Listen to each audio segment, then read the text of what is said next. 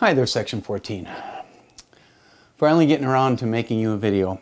And um, if I could just editorialize, um, um, I, I, just made you a video. And I was, you know, it takes a while to craft one of these things, right?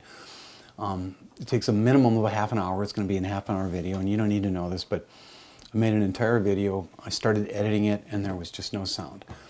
And I'm like, what in the world? I turned on my expensive professional grade lavalier mic and um, in moving my camera around because I had to teach a live class today in Staples, I, um, I, I, accidentally tapped, hit the mute button, the mute switch on the top of the thing. So I made this beautiful video that is um, silent. And what are you supposed to do? Read my lips as the deaf do? So I'm going to make it again uh, because it's Wednesday and I got to get you some gear and I'll bet this will be even better. Um, let me try to talk about everything I just talked about. It's pretty fresh in my mind. Um, and don't worry, that one got interrupted by my wife calling me, so there's flaws in it, and it's just as well. God wants me to make a new one.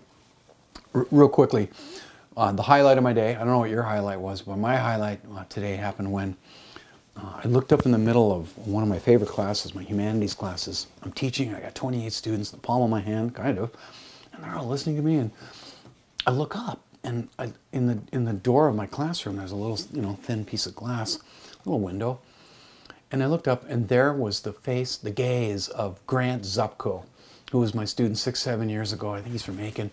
Uh, took my Comp 1, Comp 2 class, and I, am like, are you kidding? Get in here. I love that guy. haven't seen him in years. And he comes flying into the room with a couple of academic advisors. He was visiting the college, right, and his mom in town.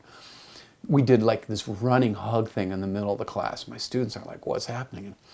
The reason why it was uh, fairly dramatic is I, I thought Grant, Grant, was a law enforcement student. And um, I thought he was a cop in Aitkin.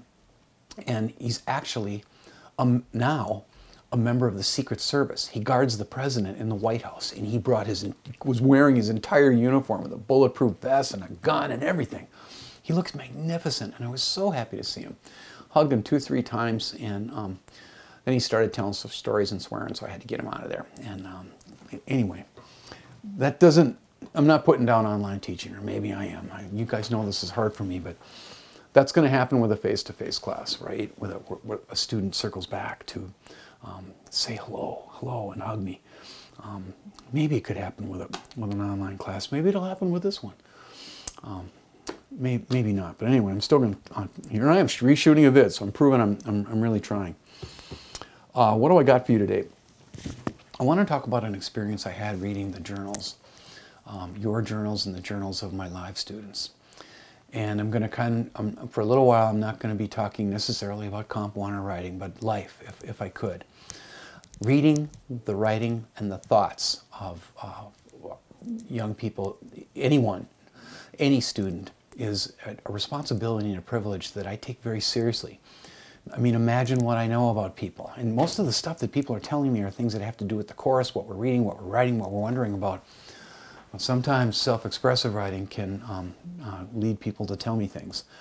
Sometimes you open up a journal entry and there's light, and sometimes there's darkness. And I think it's the darkness that I want to kind of focus on and try to explain. And I'll come up with concrete examples in a minute uh, to help you uh, get it. And uh, that's thing one. And then thing two is I, I want to approach the idea of human suffering from two angles. And I'm going to use my take on it, and I'm going to get the help of a writer that you've, whose name you've never heard of before and will never hear again, a guy named Tychonius. And then I want to show you the crescendo moment from Chris Abani's poetry reading in November at CLC for my Verse Like Water series.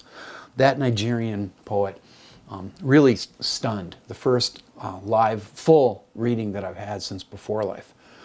And I want to take you to that moment. I, I, took all the gear and I made a little film about it using my stuff. And it's only five minutes long, and I'll probably trim some of that to get it going even faster. Uh, maybe not. And I really hope you pay attention to what I want to tell you about suffering today because we all take our turns with it. And then I want you to pay attention to a bigger, better teacher. I know when to get help and we're kind of talking about the same thing using different terms. Then I'd like to tell you what I want to talk about tomorrow when I get back up to Staples because I got to get these classes sort of linked up. Tomorrow with them and with you today, I'd like you to glimpse where we're going with uh, rhetorical theory. And um, Sounds like my wife has started taking a shower. If you can hear that, um, that's probably too much information. Do we still say TMI? I think so. So let's think of it this way. When, when you pick up a student's journal, you can hear good things. And I did, I did read good things. I had a student tell me, um, Johnson, I got a girlfriend. I finally got a girlfriend. And I'm like, yes, way to go. Good, good for you. Hold on tight, I wrote. And uh, I, I, had another student, uh, many students told me about trips that they took over the break. And um, she's not going to be able to shower during videos. Yeah, again. Um, just ignore that. If you can, if I can hear it, the lavalier mic is probably picking it up. I'm in trouble tonight. Um, uh, anyway, I heard wonderful things, and I also saw, witnessed students telling me things that were hard, that I have to bear up, right, and carry with me, and witness, because that's my job. And I get more sensitive and I get more empathetic as I, as I get older, not less. I thought it would run the other way when I was a young man. Not so. My heart's getting bigger.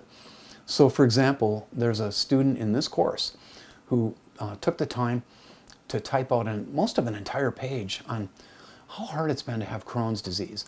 And I read that, and of course I'm not going to say the name of the student. I went, "Oh, I'm so sorry. I'm so sorry that happened to you. Good thing they're, they're you know they're getting it dialed in." I had another precious student of mine uh, who I've worked with in two or three classes. Name starts with an M.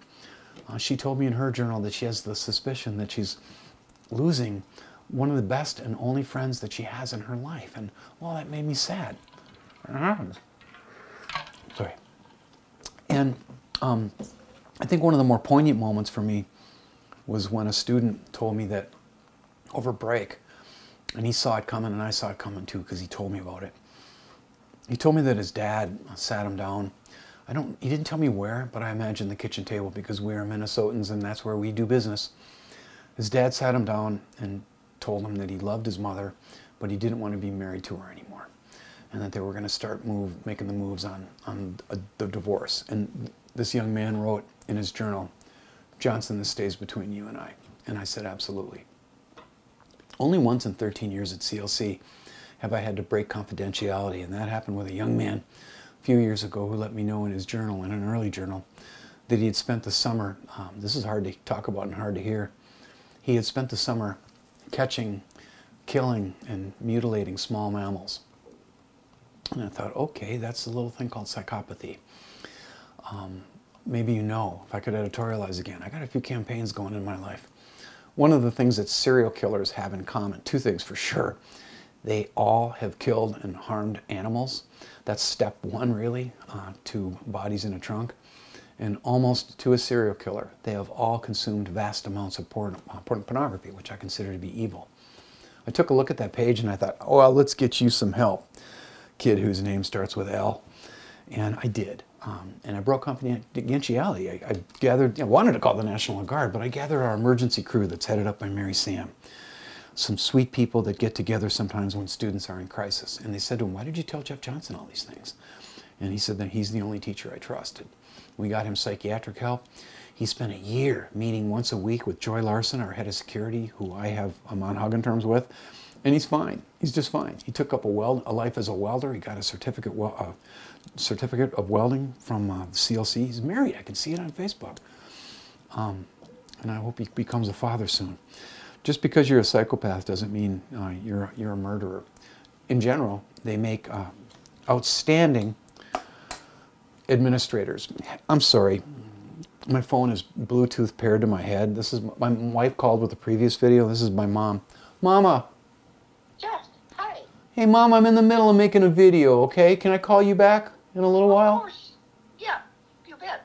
Okay. All right, I'll call you in about half an hour. Love you. Okay, bye. I can't win tonight. Gotta, gotta answer when your 93 year old mother picks up. Calls, you gotta pick up. So, to cut to it, with the young man, especially, he provoked this entire thing. It only takes one or two sentences from a student's journal to create an entire segment for class. When that student let me know, I'm suffering, Johnson, I'm suffering, my first thoughts, as you can imagine, are how can I help? How can I palliate this? And I'd like to mingle two ideas now that are really similar, although different at the same time. To loan you a way of thinking about suffering when you take your turn with it, because we all do. And um, I'm going to go to a fourth century book written by a church father named Tychonius. I'm holding a book uh, called Tychonius's Exposition on the Apocalypse. Tychonius was a writer that lived in the desert, and he wanted to. Uh, exposition means an explaining, right?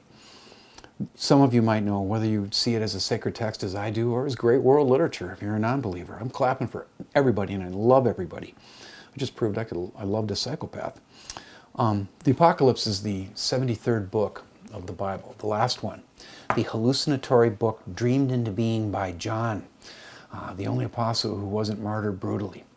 And he wrote that, I believe, when he was an old man on the island of Patmos uh, during the reign of Nero, a, a, Roman emperor who was the worst uh, in terms of being crazy and a maniac.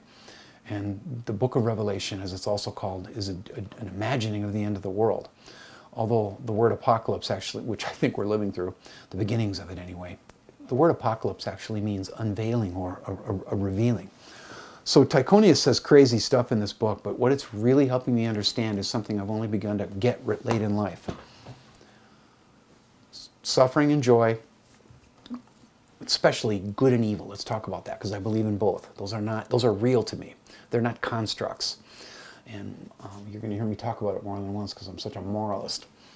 Tychonius has helped me fully understand that good and evil are bound together, shoulder to shoulder.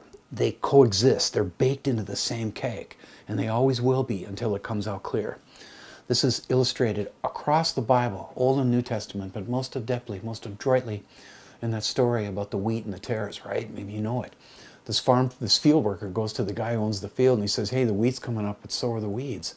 Should I tear up the weeds?"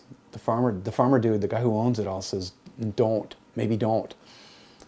If you pull up the weeds now, you're going to pull up the wheat. Wait until the wheat is ready to be harvested, then we'll separate them and pull them both." And I, I, I, lo I love that idea. That um, uh, gives me a lot of hope. Now let's, I'm going to go to a bigger, better uh, teacher right now. I'm going to go to Dr. Chris Abani and show you just a few minutes from the November poetry reading. And this is really the crescendo moment, okay? This is the moment where a young girl, I think from uh, possibly Pine River, yeah, Pine River, she was nervous. Oh, and I freaked during the reading because, and if you ever come, I sure hope you come to my poetry, to my poetry readings. Extra credit is available to you too. Shameless extra credit he freaked me out during the reading because at, at all poetry readings have something called the, the two poem warning. It's like the two minute warning in football, except it's a two poem warning. Every poetry reading has this. The poet will say something along the lines of, okay, a couple more poems, two more poems. It lets the audience know, wow, it's almost over. The poet's letting us go, and we need to let the poet go. And sweet Chris Abani pulled the, the trigger on the two poem warning at like 27 minutes after 12. And I thought, wait a minute, we talked about a 45 minute reading, maybe a 50 minute reading. But he knew what he was doing because he's a genius and I'm a non genius. At a glance, he took a look at the crowd and could see so many young people that he realized it would be better to have it be mostly half poetry and then half conversation and Q&A. And this woman from uh, um, PRB, trembling like a leaf and also courageous, put her hand up and she was the first question. And she wanted to ask him about um, suffering. What do you do when you're suffering? What do you do when you feel like you're stuck in a log and you know you have to get out, but you don't know how? And she had no idea that she was asking a question about suffering of a man who, in the 80s, was imprisoned by the Nigerian military police for three years, including one year in solitary confinement, where he not only didn't see or speak to a human soul, it was a year of darkness. They fed him at night. So he would go crazy, and he very nearly did. So again, to repeat the idea that that, that young woman had no idea that Chris, Chris Abani's got a PhD in suffering as well as a PhD in uh, literature. I want you to meet him. Try to concentrate on it, and don't don't brush through this. You can blow off my poetry sometimes, but don't don't miss this. Watch it.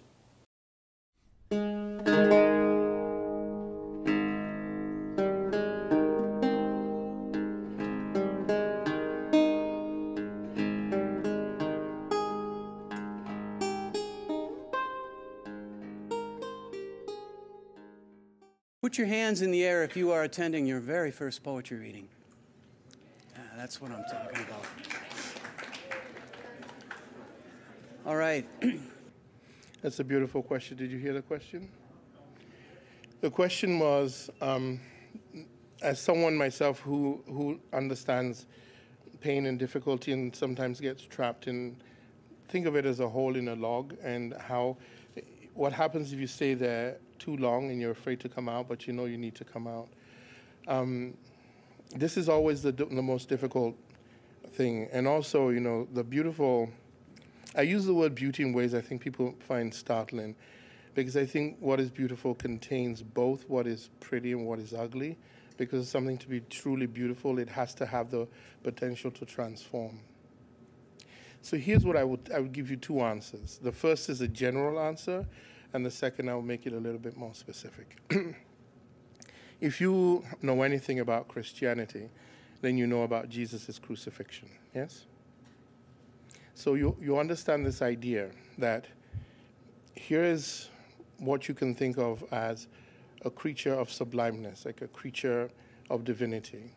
And this creature has to subject itself to this journey, this very difficult journey. So the journey from Pilate's, from when Pilate sort of condemns Jesus through the streets is absolute torture. In fact, in, if you've seen Game of Thrones, the shame scene, you, you have to imagine that Jesus was the first shame scene, right? He has to lug his own cross up there, and he's nailed to it, and he has all this power that he can't use it, and then he has to die, and then he goes to hell for three days before he can resurrect. And so the, the mystery of all of that stuff is sort of an explanation for life, which is that we all have to go through the journey of the grotesque in order to attain grace, right? In order to be able to even claim uh, the sublime. So here's the thing about hollowed out logs. Because the log is hollowed out, it's already rotten. That's the trick of it. Once you realize that the log itself, in order for it to be hollow, is already rotten, it's less of a coffin and more of a blanket. And if you can just make that quick switch, then you just start with your fingernail scratching away at the top. You don't have to do anything more than that and just let little pricks of light fall in. And when it doesn't burn the skin anymore, find a way to slide out. But when you're coming out, be sure you've asked for someone to be there. Just as Magdalene had to meet Jesus, be sure to ask for someone to be there so that when you come out of the, the log, you get an embrace. Does that help?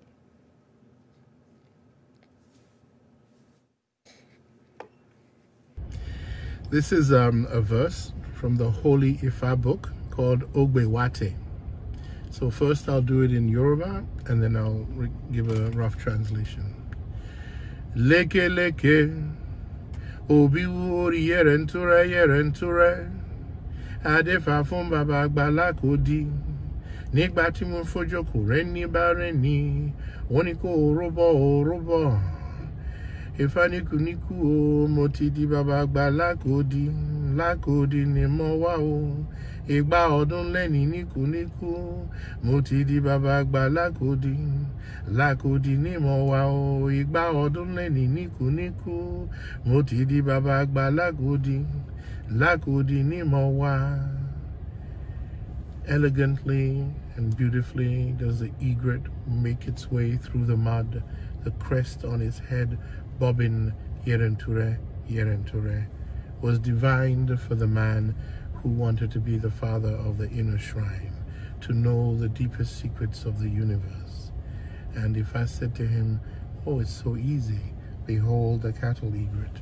It stalks through the mud and remains pure all the time. Even if it spends 200 years in the mud, it will always break for light. And when it does, there is no mud on it. It is always pure. This is how we remain eternal. This is how we remain deathless. Always break for light.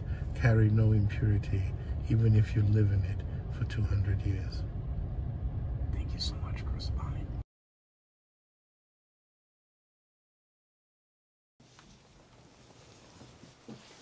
Wasn't that something? I love that man. And uh, I got quite a poet hug from him when we released each other.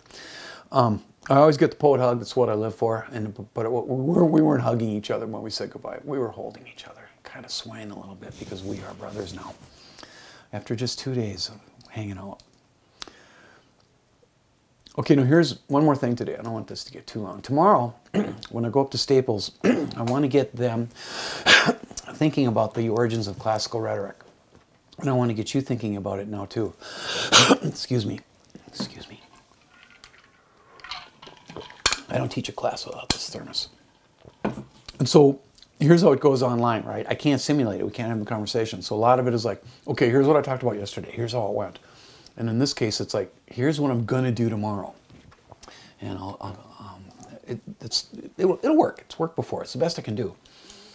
So tomorrow, basically, I'm going to do like this tripartite, three-part thing uh, where I get these students and you uh, thinking about classical rhetoric or its origins.